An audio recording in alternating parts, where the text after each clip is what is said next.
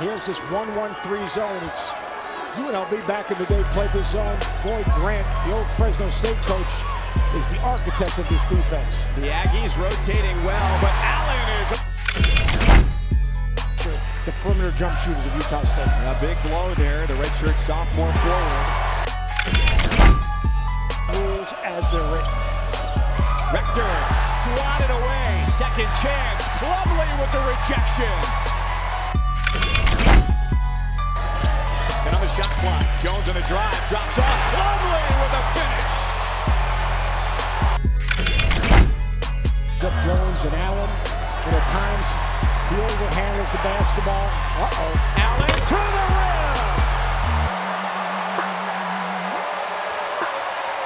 rim. We'll see what up? Is Amile Jefferson here my man Luke Skywalker, the killer, the assassin, the three-point monster.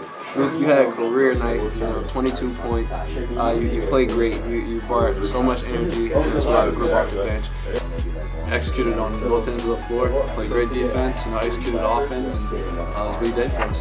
Definitely. Uh, Luke, just talk about you know bringing energy um, and how that affects the team, and when you know you bring that type of energy, you know different guys you know start playing well, and it's really contagious. Just talk about the energy you brought.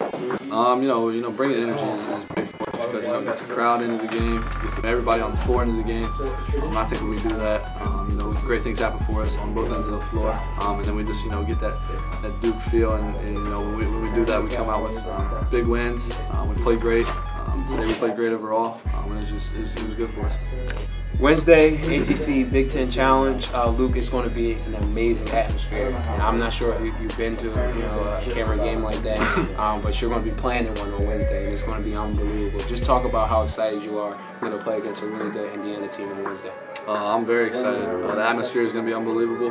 Um, you know, just you know being here at, at Duke and um, you know the, just the crazy's going going crazy um, in, front, in front of a you know a, a big crowd. Um, Indiana's going to be a good team, a good team. So we gotta we gotta um, prepare right now, um, get ready for Wednesday. Um, so so crazy, be ready, be ready, be loud. Well, there you have it. Mill Jefferson, my boy, Luke Kennard, Full City. We out.